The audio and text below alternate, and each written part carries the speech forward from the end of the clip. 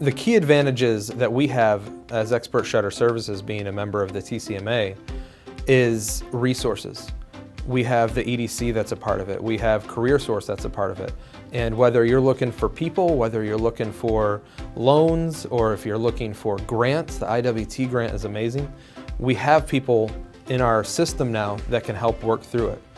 As a group, we're a group of manufacturers that are now able to go to a state level and say, hey, this is affecting us as a group. If you're one company, it's not going to do much. However, if you've got 60, 70, add us with SFMA and you've got hundreds of companies all saying this, that's how we're able to make and create change. And the TCMA is a vehicle to allow us to do that.